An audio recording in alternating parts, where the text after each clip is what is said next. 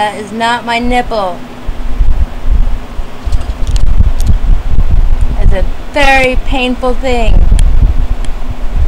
I had to have a mild surgery the other day and it was completely awful because the surgeon dude came into the room after I had to wait for two hours after an ultrasound of my boob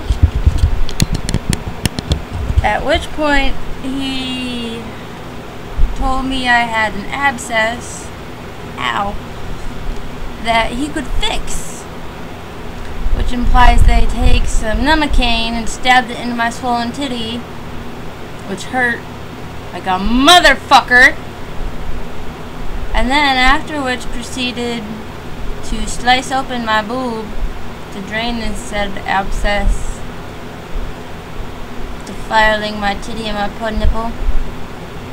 And now I have gauze stuffed into my tit, and it's twice the size of the other one. So I know if I ever get implants, I'll take it like a boss.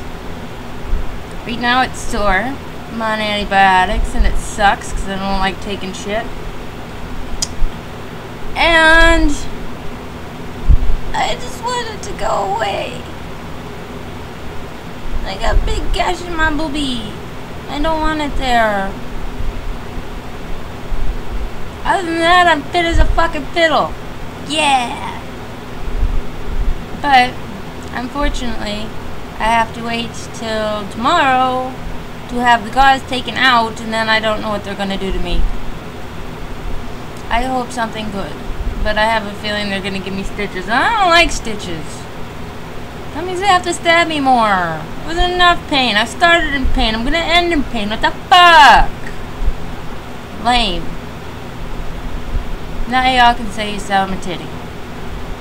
Very gross, unfortunate part of my titty. That's the best you get. Unless you're my dude, then you get uh, full-fledged access. But you're not. So, uh, on that note, I'm gonna get ready for work. Rebandage my boob, because I need to. I can't just have an open fleshy wound hanging out like I do. Just have the band-aid off right now, because I was soaking it, and it hurts.